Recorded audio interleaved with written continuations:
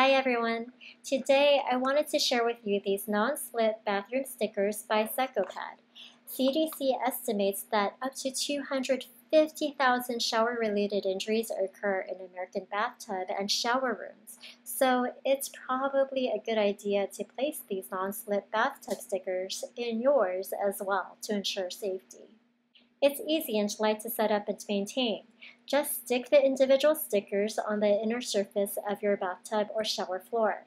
Each sticker is made where it easily sticks to the surface using special glue.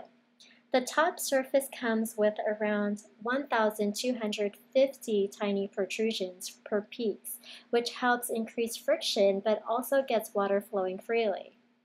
What's great about these stickers is that they're designed to strongly grip onto smooth surfaces.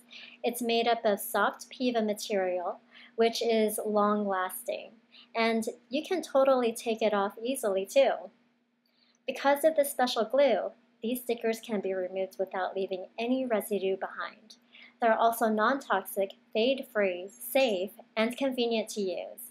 The package has 24 pieces of clear stickers and includes a high quality silicone scraper. And if you're not sure how many you need, one pack should occupy at least two thirds of the tub surface, which will effectively reduce the risk of accidental slips. You can even use these stickers on stairs. I hope you try these out. Thanks for watching.